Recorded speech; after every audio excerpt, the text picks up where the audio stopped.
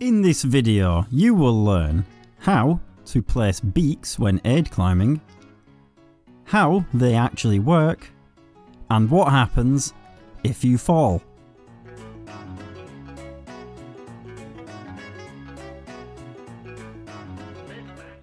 Beaks offer protection in super thin cracks where other gear just doesn't work.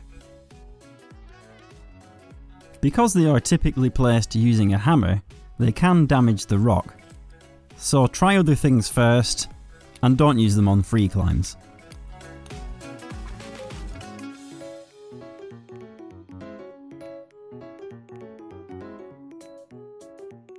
There are many different types of beaks, with the most common being the Black Diamond Pecker and the Moses Tomahawk, each of which are available in three sizes. It's useful to add a loop of cord to the top hole of your beaks.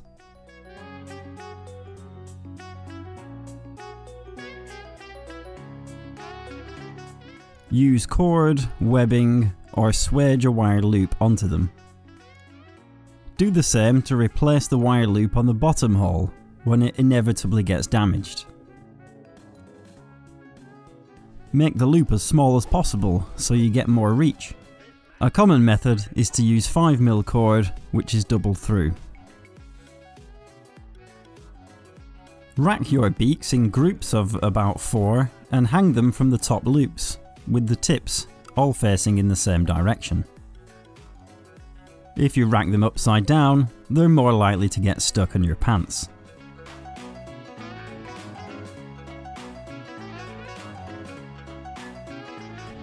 Look for a tiny constriction in the crack and place the beak just above.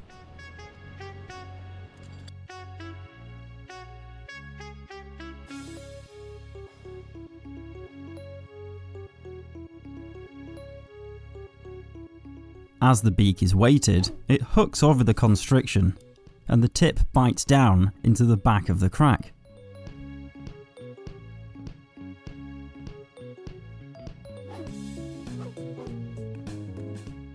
Hand-placed beak like this can be a good piece of gear, but they will often wobble out when you climb past. To make the beak more reliable, tap it in a few times with your hammer. This usually sets the beak into a better position. By being further back, the beak hooks over more rock, which makes it a stronger placement. And if the beak is wedged in so it contacts both sides of the crack, it'll be even stronger and it'll stay in place when you climb above. Clip the bottom loop of the beak.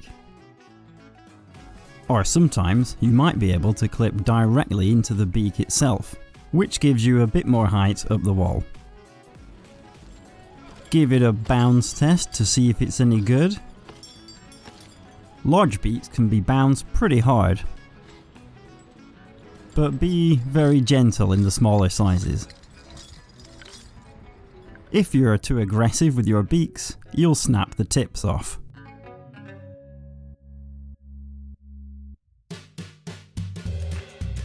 Beaks can be placed in horizontal cracks. Clip the top loop and be gentle with it so that you don't bend the beak's tip.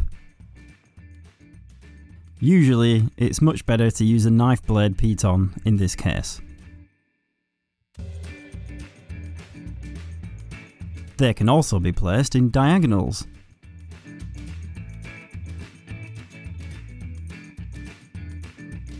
Clipping the lower hole twists the beak into the crack, which, depending on the angle of the crack, might add more security or might damage the beak's tip.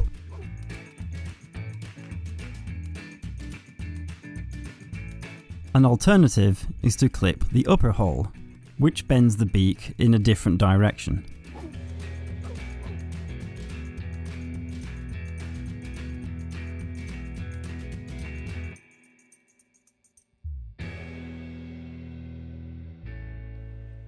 In some cases, you might clip both holes, so they are sort of equalised.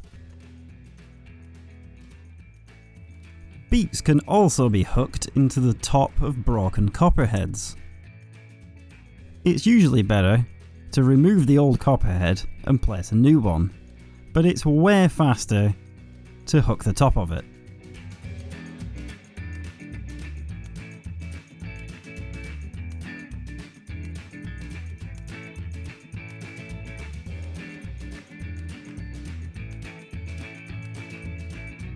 It might work.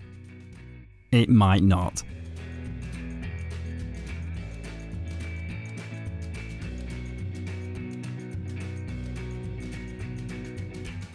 You could also stack two beaks together, but it's often better to just put something wider in instead.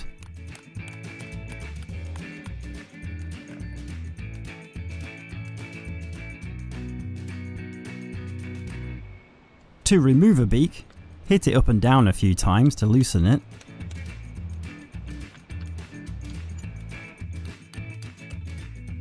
Sometimes they come out easily, other times you might need to use a funkness device.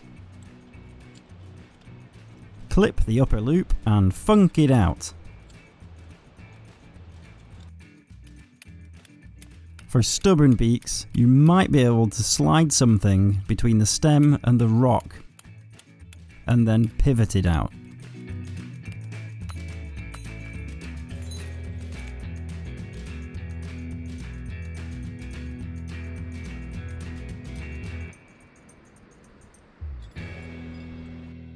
Small hand-placed beaks are less reliable Large beaks that you hammered in and bounce tested might be better.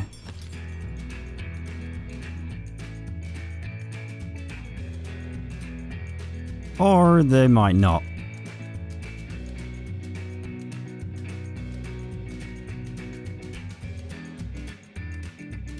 Beaks damage the rock, so only use them on aid climbs. Thanks for watching.